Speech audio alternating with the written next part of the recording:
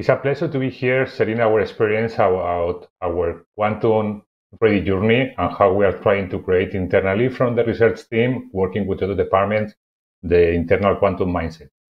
We started two years and, half ago, part of our research effort in our Horizon 3 project with impact in more than three, five years, understanding the potential of quantum technologies, and we put the focus at the beginning in quantum computing.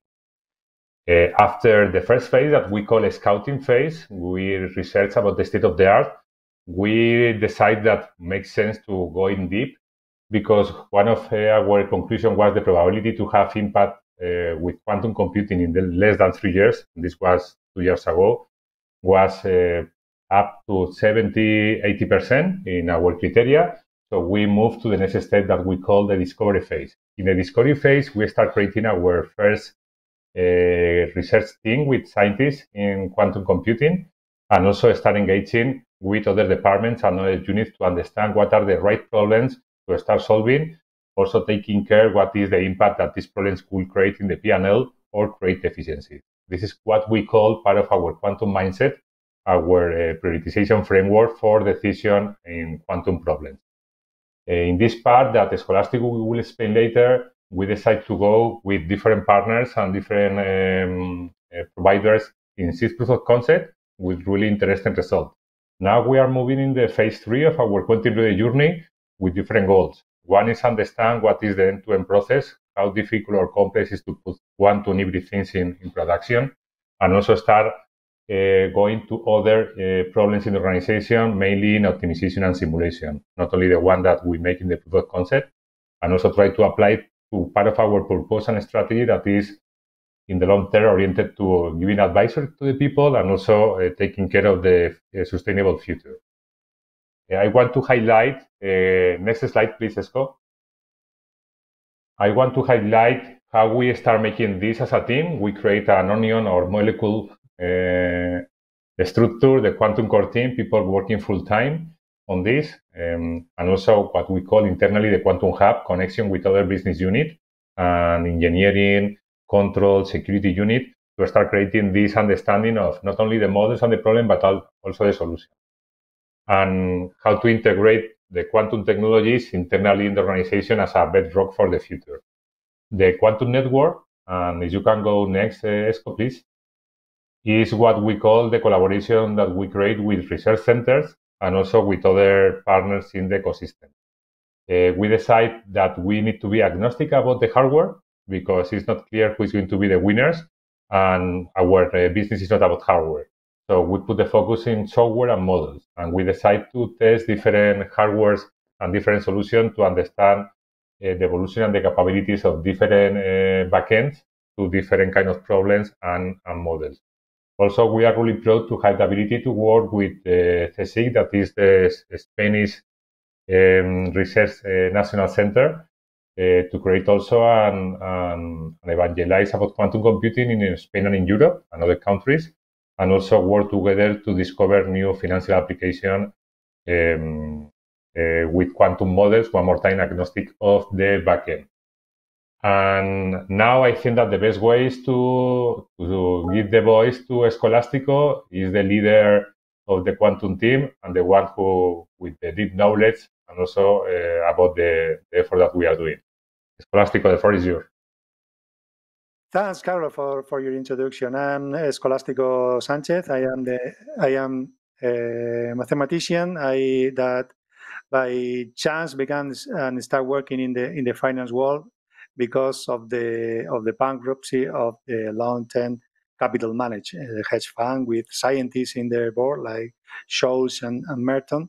And because of that, our Securities and Exchange Commission uh, put a position for, for two for two mathematicians, and I became a, a, a, civil servant in that public public body.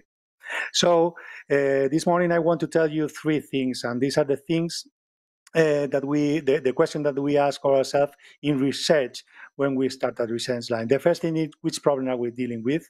And in this case, our exponential problem.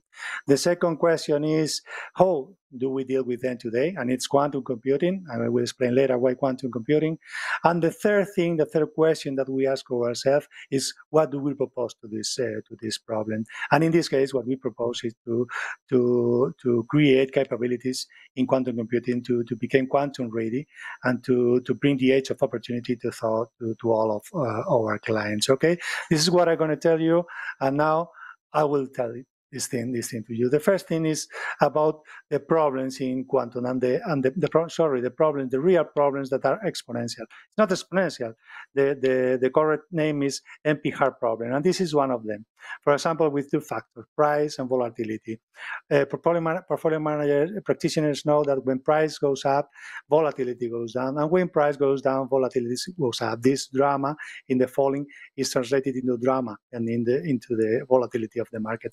So if you take uh, into account this only these two factors and only uh, a universe of investing of call and put options, the best options. Uh, uh, sorry for the for the repeating these things. Is the best option is buying or put or a put options or selling a put options.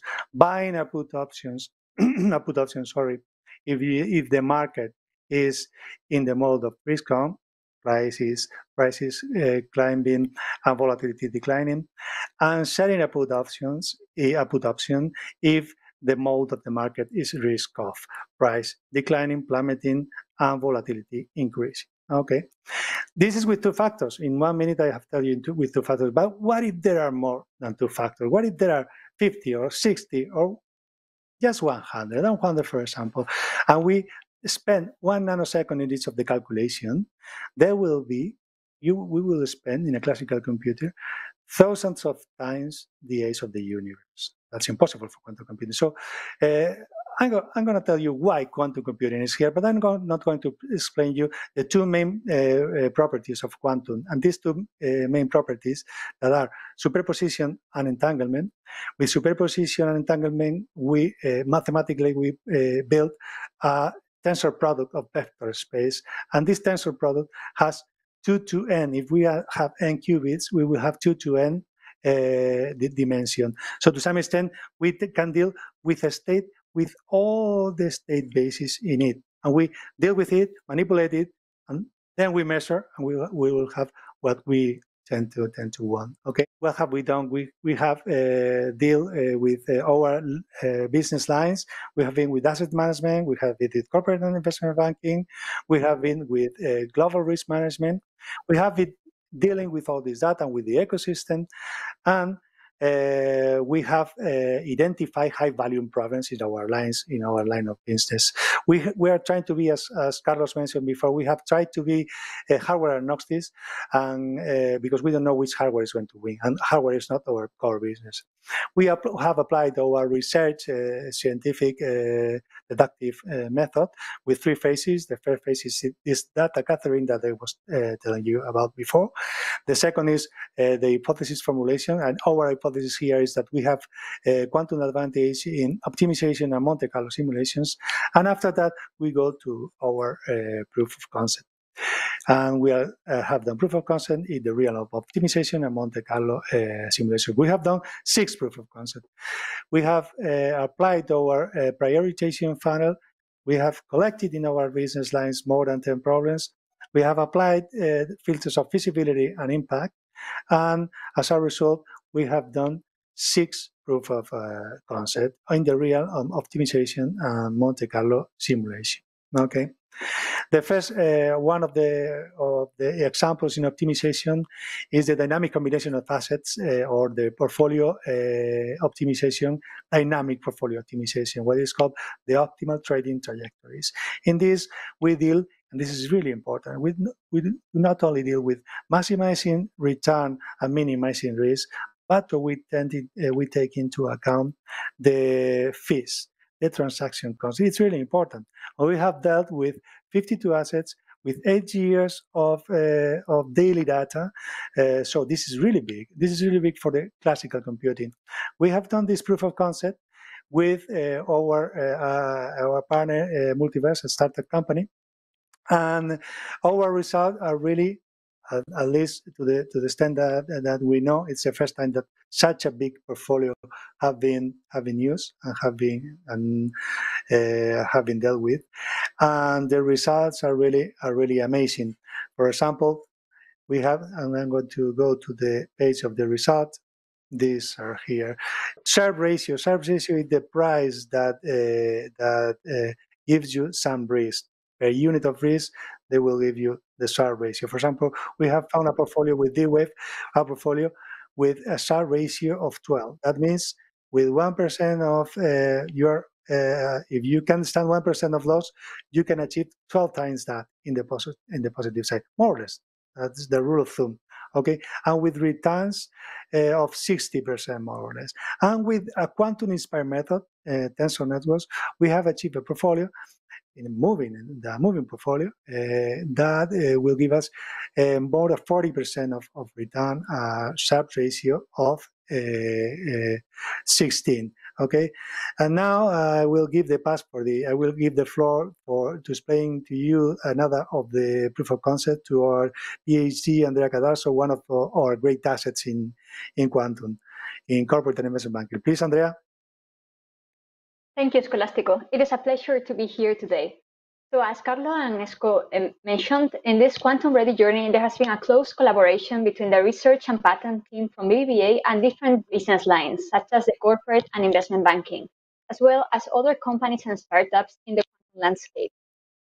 Uh, the other problem that we were aiming to solve uh, was evaluation of certain financial products with a credit value adjustment.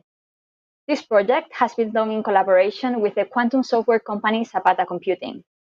As a brief introduction uh, for what we are trying to do in the second proof of co concept, uh, is that in the area of corporate and investment banking of BBVA, uh, we provide financial products and services for institutional investors and corporate clients. Some of these products are contracts which depend on the price of an underlying financial asset, such as currencies, bonds, or stocks. These products are called derivatives. Finding the fair price of these products can be very difficult, and under certain conditions, it is necessary to consider other costs in this price, such as the possibility of default of their counterparty, that is, the other side of the transaction. So the main reason for this is that since the 2008 crisis, there has been a growing interest and also regulation considering the counterparty credit risk in financial contracts. This can be, can be translated into an adjustment in the price of over-the-counter derivatives, which is known as credit value adjustment or CVA. The problem of calculating CVA for a financial instrument can be reduced to the mathematical problem of performing integration over a high-dimensional space. This task is generally hard for classical computers, but this integral can be also solved numerically using statistical methods such as Monte Carlo. The Monte Carlo methods are computational algorithms based on random sampling that can be used to perform numerical estimation of parameters and also to obtain numerical results. In this particular case, we are using these methods for numerical simulation and integration, where we need to average over different scenarios which are simulated stochastically. In order to obtain a result with a specific accuracy, Monte Carlo methods require a number of samples that scale rapidly with accuracy. This scaling cost is related to a fundamental limitation imposed by the central limit theorem for classical algorithms. And uh, this is exactly what we are trying to overcome with quantum computing. Quantum computing has risen as an alternative to improve this classical cost of scaling of Monte Carlo methods. In fact, there are early proposals which point to quantum amplitude estimation to improve the scaling cost of parameter estimation that we have in the classical case. In these works, it is shown that if we consider a classical algorithm that takes n steps to estimate a parameter to a required accuracy, then the quantum algorithm may achieve this task to the same accuracy in O squared n steps, and this is exactly um, a near quadratic speedup over the best possible classical algorithm for a certain class of problems. If n is of the order of billions, then this squared n is uh, significantly, significantly different. And in a business application, this would mean a noticeable reduction of time and resources. However, these algorithms need to run deep circuits on a quantum computer, and these are not suitable for near-term applications due to the state of current devices. As we mentioned at the beginning of the, of, of the slide, in order to analyze this problem and potential solutions with near-term devices, we've partnered with Zapata Computing and developed a proof of concept to explore the use of quantum techniques, such as quantum amplitude estimation and the engineered likelihood function technique, to obtain the credit value adjustment in a particular case. So our main objective in this work is to understand if it is possible to obtain an advantage with these techniques and what kind of hardware and computational resources we would need to obtain a significant speedup with a noisy quantum device. We're also interested in how these results would scale with the dimensions of the problem, how they would compare with actual classical techniques for a given hardware architecture. So from the business perspective, the experience working with this problem has been very interesting, um, very positive. And there's also a paper in progress which will be published soon and which focuses on the results obtained for the CVA of an option with concrete estimates um, and explaining the quantum speedup depending on the noise and error parameter of the hardware. Thanks, Andrea. And thanks a lot. As you can see, we are passing on this. We are Latin, so we we want to talk. And I hope that you share and you enjoy our experience, our, our journey, at the same way that we are enjoying uh, this. Thanks for all. Thank you very much. Thank you.